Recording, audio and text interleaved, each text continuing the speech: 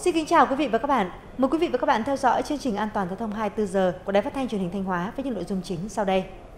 Đảm bảo an ninh trật tự an toàn giao thông, tuần lễ văn hóa Hội An thành phố Thanh Hóa. Cần có giải pháp giải tỏa các hành vi lấn chiếm gầm cầu tại thành phố Thanh Hóa.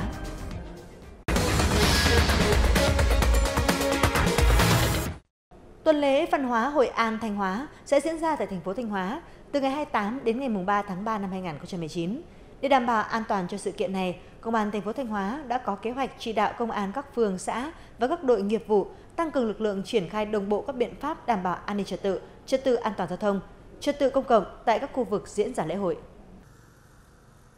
Ủy ban dân thành phố Thanh Hóa sẽ huy động cán bộ chiến sĩ lực lượng công an, thanh niên tình nguyện và bảo vệ dân phố có nhiệm vụ giải tỏa các tụ điểm gây cản trở giao thông trên địa bàn. Tổ chức sắp xếp các điểm trông giữ xe và cắm biển chỉ dẫn các phương tiện và đại biểu về dự sự kiện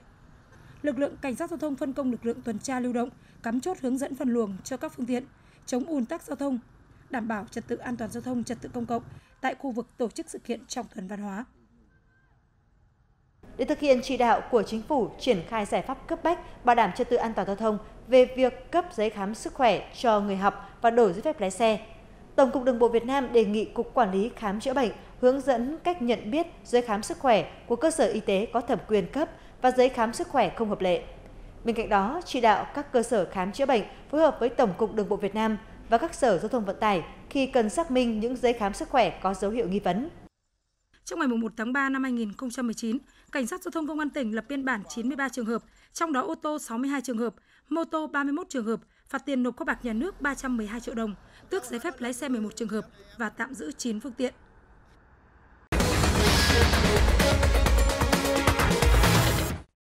Thưa quý vị và các bạn, hiện nay có một số hành lang ở các gầm cầu trên địa bàn thành phố Thanh Hóa trở thành nơi tập kết hàng hóa, bãi trông giữ xe ô tô, kinh doanh quán nước, gây mất an toàn công trình cầu. Đáng nói là không ít lần chính quyền các địa phương ra quân giải tỏa các vi phạm liên quan, nhưng đến thời điểm này, tình trạng tài lấn chiếm vẫn diễn ra. Trên địa bàn thành phố Thanh Hóa hiện có 4 gầm cầu tới các phường Quảng Hưng, Tân Sơn, Nam Ngạn và Tàu Xuyên. Hầu hết các gầm cầu này đã bị chiếm dụng làm nơi kinh doanh trông giữ xe, tập kết nguyên vật liệu hàng hóa, làm lều quán, bán bình và kinh doanh dịch vụ xe khác. Việc kinh doanh buôn bán trông giữ xe dưới gầm cầu vượt không chỉ gây ô nhiễm môi trường mà còn gây nguy hiểm cho người tham gia giao thông khi đi qua khu vực này. Trong khi đó, khu vực dưới gầm cầu vượt có nhiều phương tiện qua lại nên tình hình giao thông khá lộn xộn, tiềm ẩn nhiều nguy cơ tai nạn giao thông. Đáng nói là thời gian qua, chính quyền các địa phương và các ngành chức năng liên quan đã nhiều lần ra quân kiểm tra xử lý dọn dẹp, Thế nhưng, hoạt động buôn bán dưới gầm cầu vượt thì tạm lắng trong thời gian lực lượng chức năng có mặt, rồi sau đó trở lại. Thông tư số 35 của Bộ Giao thông Vận tải quy định, từ ngày 1 tháng 12 năm 2017, các tổ chức cá nhân không được chiếm dụng gầm cầu làm nơi ở, bãi đỗ xe và các dịch vụ kinh doanh khác. Như vậy, việc để hành lang các gầm cầu bị chiếm dụng, trách nhiệm thuộc về chính quyền các địa phương. Địa phương thì cũng sẽ phối hợp cùng với các lực lượng chức năng của thành phố và báo cáo thành phố để Ờ, xin các lực lượng hỗ trợ để giải quyết dứt điểm cái ờ, tình trạng ờ, gửi xe ở những gầm cầu này. Về phía chính quyền địa phương cũng thấy đây là cái uh, trách nhiệm phải thực hiện nên là trong cái thời gian uh, tới đây thì về phía phường sẽ tích cực uh, đấu mối với uh, đội kiểm tra quy tắc thành phố để uh, giải tỏa cái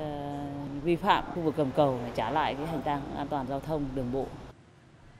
Việc lập các điểm trông giữ xe dưới cầm cầu là hoàn toàn trái các quy định. Bởi vậy, các cấp chính quyền cần phối hợp với các lực lượng chức năng kiểm tra xử lý vi phạm, thiết lập trật tự tại các cầm cầu trên địa bàn thành phố Thanh Hóa. Quý vị và các bạn vừa theo dõi chương trình An toàn giao thông 24 giờ. Xin kính chào và hẹn gặp lại quý vị và các bạn trong chương trình ngày mai.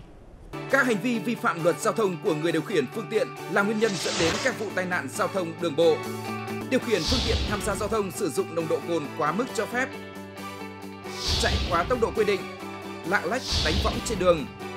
đi không đúng phần đường, làn đường, chở quá tải trọng,